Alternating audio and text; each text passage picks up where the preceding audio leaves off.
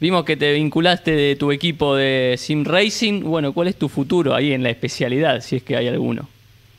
Mi futuro en la especialidad es algo muy loco también, que me, se me están pasando cosas muy locas este último tiempo, demasiado locas te diría, que, me, que exceden mi exceden mi capacidad de asimilarlo. Mirá que tengo bastante un disco rígido bastante grande por el tamaño de la cabeza, no por otra cosa, pero se me, se me excede. Tengo la, la suerte de que lo van a estar anunciando ahora dentro de poquito, en el mundo virtual obviamente, de formar parte de Williams eh, eSports, eh, de, la parte de eSports del equipo de Williams Fórmula 1, te imaginarás. Impresionante. Mi, mi cara cuando me llegó el mail arroba williamsf1.com. O sea, digo, esto tiene que ser una joda o una promoción de algo, no puede ser. Y no, era real, voy a ser parte de, de Williams, eh, lo van a estar anunciando dentro de poquito, que bueno, me, me fui del equipo español Euphoria Racing, que fue con el competito de estos años. Y bueno, no me hubiese imaginado nunca. Si, eh, imagínate que podría haber ganado 20 campeonatos más eh, en Argentina y jamás hubiese tenido contacto con un equipo de Fórmula 1. Y si bien obviamente la parte virtual, la parte de eSports, no deja de ser un contacto con, con este equipo de, de Fórmula 1 tan prestigioso y de tantos años en la categoría como Williams. Así que nada, hasta me plantearon la posibilidad de, de algún día conocer la fábrica, que para mí eso ya es como como tocar el cielo con las manos, entrar a la fábrica Fórmula 1, Cristian no sabe bien, es, prácticamente imposible. Sí.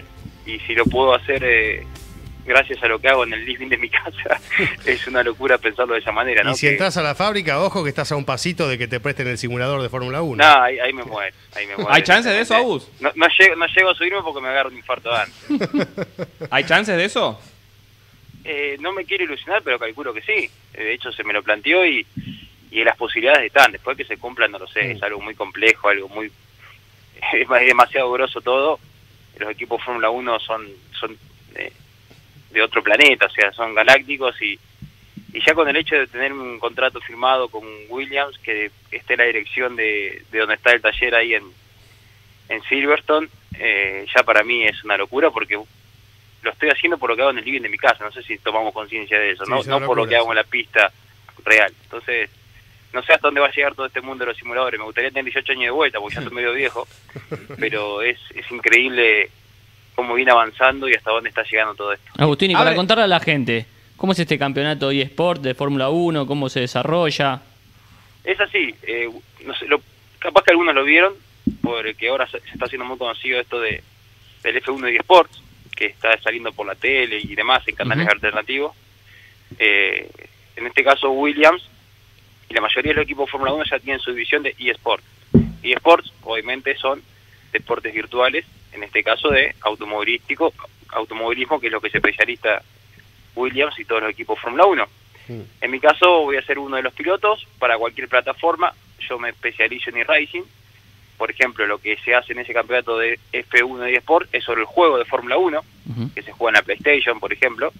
Pero bueno, en esa parte yo no estoy metido, yo estoy metido en, en otras plataformas más de simuladores reales, porque el F1 Sport es un poco más arcado, un poco más jueguito. Y bueno, nada, eh, competiré en algunas competencias internacionales o algunas nacionales con, con la estructura de Williams, con los colores de Williams y cuando se hagan alguna- algunos eventos en la fábrica de Williams o algunos ve- eventos en Europa o Estados Unidos que, que el equipo Williams y Sport participe y yo pueda ir, eh, voy a estar eh, viajando eh, con ellos, siendo parte del equipo. Eh, y, y en ese caso, digamos, en, en las competencias virtuales de, de Fórmula 1, ¿se equiparan los rendimientos de todas las escuderías? Sí, o sea, el F1 de Sports yo no formo parte, eso que quede claro, eso que sale por la tele, yo no voy a poder correr nunca ahí porque hay que dedicarle tiempo completo y yo no puedo, obviamente. Mm. Lo mío es algún campeonato entre semana que haya de manera virtual que lo pueda correr acá desde Buenos Aires eh, o Arrecifes y bueno, algún fin de semana que haya algún evento donde se reúnen todos los eh, jugadores de simuladores del mundo o sim racers y yo pueda viajar porque justo tengo libre, más que eso no puedo pretender Claro. pero en el caso del F1 de Sport, sí, lo que uno ve por la tele o uno puede ver por la página de Fórmula 1, sí, sí, todos los equipos obviamente tienen el mismo rendimiento, no, no hay la diferencia que hay en la realidad. Claro, claro, claro.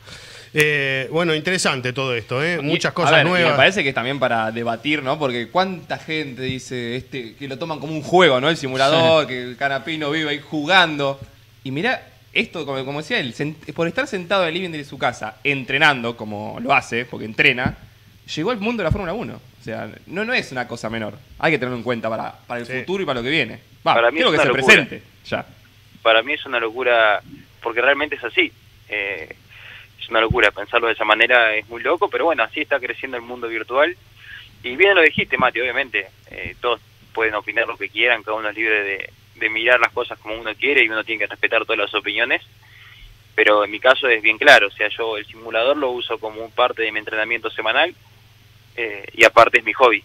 Eh, pero sí, lo, como entreno físicamente con un profesor en el gimnasio, después dedico horas para la parte de entrenamiento virtual que me ayuda en lo real con el simulador y bueno, obviamente lo hago compitiendo porque al competir uno se exige y si uno se exige se entrena mejor. Por eso es que trato de competir en, en los mejores campeonatos que hay en la plataforma y racing, que es lo que yo uso. Bueno,